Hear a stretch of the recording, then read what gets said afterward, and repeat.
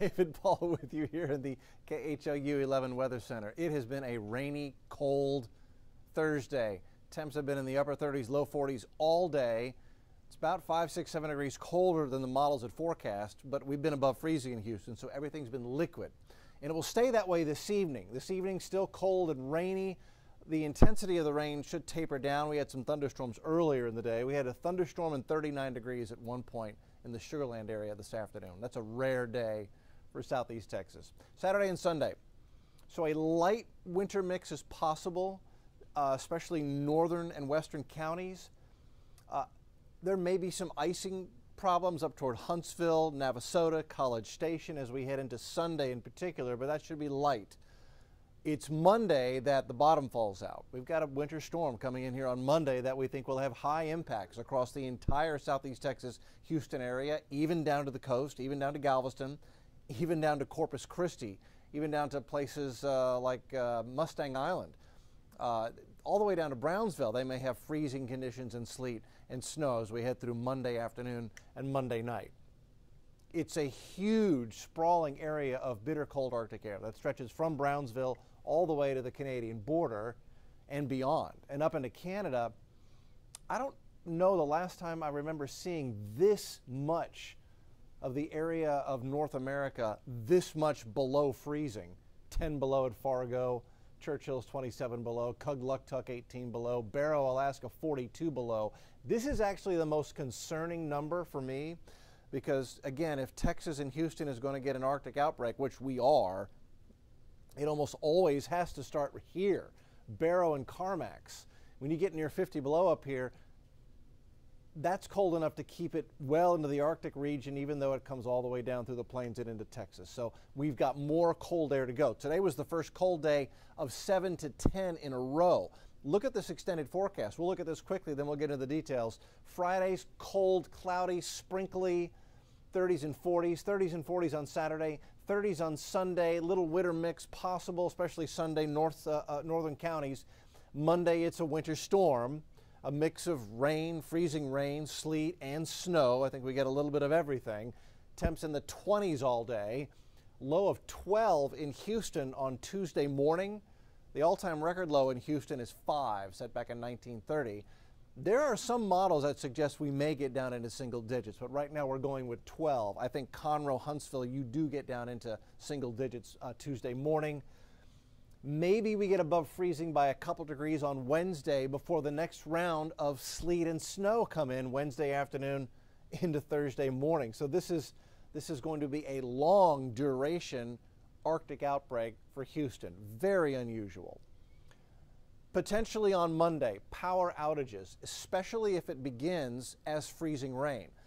The frozen precip should start Monday morning at sunrise. If it's freezing rain, that's liquid rain that hits frozen surfaces, freezes, ice builds up, power lines get heavy, and they can snap or poles can come down. Or trees gather ice, the limbs snap, they hit the power lines, and so you can understand why widespread power outages is certainly one of our main potential impacts the tree branches down, not only making it dangerous for power outages, but dangerous for driving or dangerous for damage to home and property.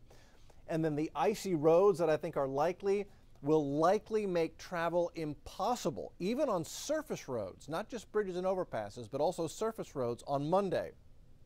I'm urging you just to plan on not doing anything Monday except staying home. If there's someplace you have to be on Monday, you need to get there Sunday night before the sleet and freezing rain starts on Monday morning and makes it impossible to drive around town. Here's what's been going on today. We've been wet. It's all liquid here across the coastal plain in Houston. The winter weather is ongoing in central and northern Texas with winter weather advisories, winter storm watches and warnings spread out across central and north Texas. Dallas had ice this morning that caused a huge accident. It was a bad one. So in Houston, it's all rain. We're 39. It is of interest. You see the transition zone, Austin to Tyler. But now in Washington County, hello, Brenham, we're getting reports this evening, right now, that there is a little bit of ice building up on some of the bridges and overpasses in Brenham and Washington County. So very careful driving out here. It's getting dark and it's getting icy on the bridges and overpasses there. That will probably also be the case going into Sunday afternoon for places like Brenham and Bryan and Navasota and Eyes and Huntsville and maybe Livingston. That's going into Sunday. This rain you can see right now is going to continue. It continues to develop and move across the area. It's mostly light to moderate. Going through 9, 10, 11 o'clock, midnight tonight, still rainy. There's that chance for a little bit of sleet, frozen mix out toward Brenham and College Station, where again, reports are that some of the bridges are icing up out there. Tomorrow looks like a much drier day, but cold, cloudy, 30s in the morning with a north wind, and it's freezing College Station, Brenham. And then we're cloudy and cold, and the models want to take us into the mid 40s tomorrow. I don't think we're going to get that warm. I think it's low 40s at best tomorrow. Wind chills in the 30s and 20s at times tomorrow. Here's the big picture Texas kind of gets a break on Friday afternoon. It won't last. We go into Saturday, little piece of energy is going to roll in across the upper level winds on the jet stream and it will produce a little bit of light rain and drizzle on Saturday. This is noon on Saturday. So this could, in some spots north and west of Houston, produce a sleet pellet or a little bit of icing like we're getting in Brenham and Navasota tonight. This is Sunday morning. Another little impulse kind of comes through. This one, you know, there's Highway 105 or so. So north of Highway 105 could be a little bit of light frozen mix. Dallas getting sleet and snow on Sunday. Cold rain for the most part of Houston but it is going to be Sunday evening that we'll notice the next stronger impulse coming in. That one producing heavy snow, Lubbock to San Angelo Sunday evening. Again, get where you need to be, get set up Sunday night before Monday morning rolls around. That's 6:30 a.m. Monday, and this is our winter storm. And actually, notice the low pressure area forming over the Gulf. So those of you from New England uh, know this as a nor'easter. This is basically a nor'easter. You've got low pressure forming here. It's going to sling moisture over the top of the cold air coming in and give us all this sleet and snow. The, uh, the center of the low is far enough off the coast so that we're well in the cold sector. Uh, and so instead of a nor'easter, this is kind of like a Gulf Easter. That's what we kind of call them here in the Weather Center. It's a Gulf Easter and that will be moving up and it will eventually move out of here as we go through the day on Monday. But even by 1.30 in the afternoon Monday, it's still sleet and notice snow on the back. So we may start with freezing rain, then switch over to sleet, then switch over to snow as the whole system transitions and pulls out of here. But it's interesting. The Euro has bitten on the idea that the vertical column may be deep enough of cold air to produce a lot of snow instead of a lot of ice. That would be the best outcome we could hope for to get four inches of snow in Houston. Hobby, two, almost three inches of snow. Pearland, two and a half. Galveston, an inch of snow. Brenham, five or six inches of snow. That would be wonderful. Snow is much easier to deal with, but what I really think is going to happen is we'll start out with sleet and freezing rain in the morning, putting ice down, and then snow will fall on top of it in the afternoon. And the snow totals won't be nearly as high as what you're seeing here because most of that will fall as freezing rain, which is liquid that freezes, or just sleet pellets, which are ice pellets, not nearly as pretty as snow. But that is one possibility. That's interesting. So we'll keep watching that the next couple of days. We've got a few more days to watch this before Monday rolls around. So once again, here's your seven day cold, drizzly on Friday, cold, drizzly Saturday. Best chance for a little bit of frozen mix over the weekend is Sunday, northern counties. And then Monday is our winter storm with temps in the 20s. Now, temperatures, it looks most likely that will drop below freezing Sunday night, around midnight, drop into the 20s. So we're below freezing all day on Monday.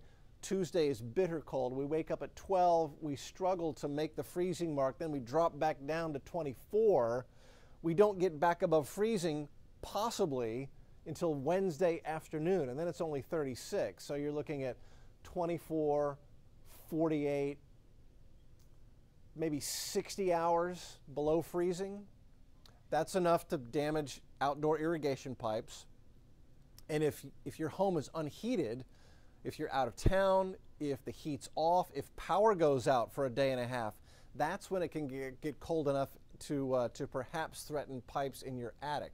If you're home and you're running your heat, your home should be fine. That heat rises and it will keep those pipes in your attic from bursting. But it's if you lose power or you're out of town. That's what happened in 1989. The last time we had a big pipe busting freeze It was over Christmas. It had a lot of people out of town, and the pipes burst, and they just ran for for days while the folks were out of town, and it obviously caused a huge financial loss to a lot of people with with pipes.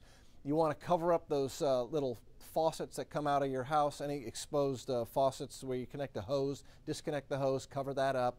Uh, if you have an irrigation system, you'll have a backflow valve. You want to wrap that up, uh, towels, and then put a, another towel over that or a garbage bag over that is the best way to do that. I'm actually going to uh, put some Christmas lights and turn them on so there's a little heat source. I've had mine break three times over the last 20 years and it's expensive to repair and I don't want to do it again. So that's what I'm doing.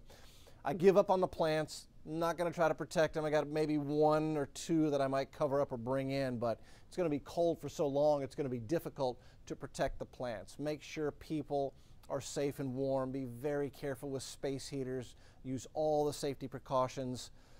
Um, and we'll get through this. But the big picture is it's cold now and it stays cold tomorrow, Saturday, Sunday, Monday, Tuesday, Wednesday.